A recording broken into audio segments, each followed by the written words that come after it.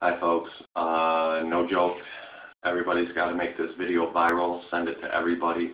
We just drove down from Livonia, Michigan past Detroit Metro Airport. We saw daylight orange clouds, uh, not the lights. We saw blue flashes, pulsing, pulsing, pulsing, no storms in the area. We passed by a red cloud. We got out to where we live outside Monroe, where there's a blackout area behind a quarry on Google Maps. They're out there blue flash, constant blue flash, blue flash, blue flash, searchlights. Those finally died down, but there's a blue glow. Everybody get their bug out bag, and get prepared. They're going to pop off the New Madrid.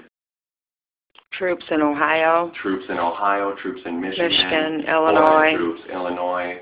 Uh, everybody in the New Madrid, don't go to the camps. Don't let them fool you. Don't believe the propaganda. Don't let them take your firearms. Everybody, get on your horse like Paul Revere. Ride to your neighbors if you have to. Everybody needs to stick together. Uh, we'll try to put out another one here shortly or tomorrow morning. We love you. Love and light.